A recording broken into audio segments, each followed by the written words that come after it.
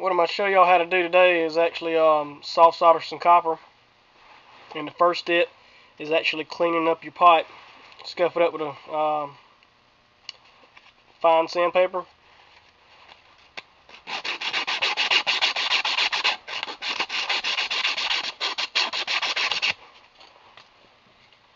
Even your elbows. Just rough up the inside a little bit.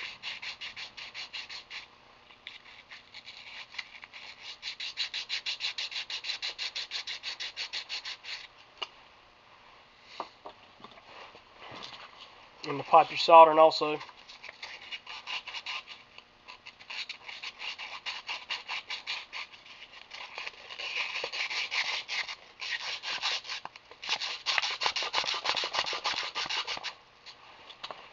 Next step after you got that is you want to apply flux to your copper pipe.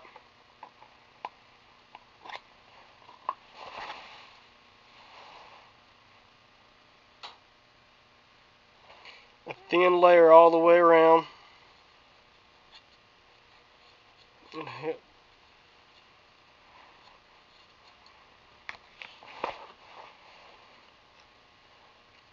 Even on the inside of your elbow.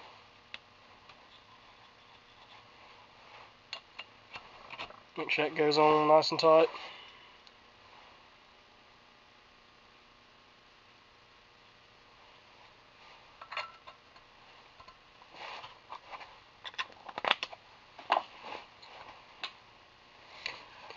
Next, you want to get your uh, your solder, and if it's uh, water line, it will be uh, lead free. And get your torch and start heating up the copper pipe.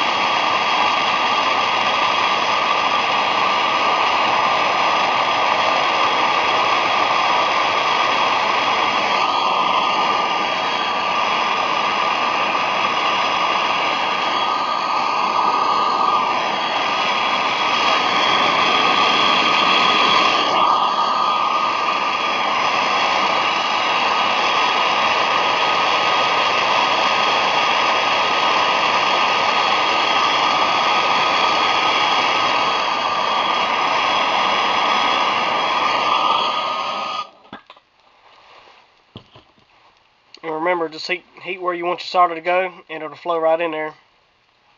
As far as uh, those joints there. But uh, that looks good. If you have any questions, uh, let me know.